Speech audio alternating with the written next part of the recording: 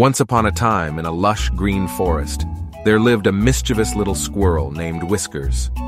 Whiskers was known throughout the forest for his quick wit and playful nature.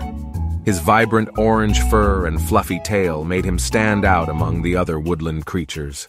Whiskers spent his days exploring the treetops, leaping from branch to branch with remarkable agility.